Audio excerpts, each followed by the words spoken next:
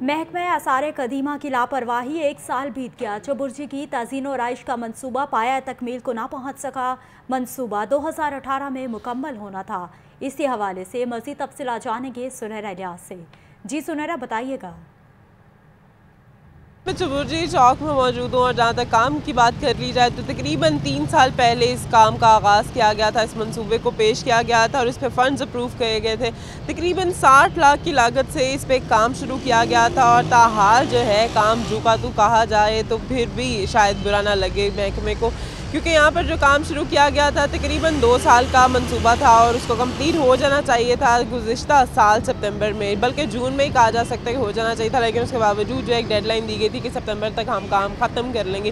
لیکن یہ تو آنے والے سپتمبر تک بھی کام ختم ہوتا نظر نہیں آ رہا۔ اگر بلڈنگ کی بات کر لی جائے تو فریسکو ورک جو ہے، اس پہ وہ ہو رہا ہے۔ اس کی پینٹنگ کو ریسٹور کیا جا رہا ہے۔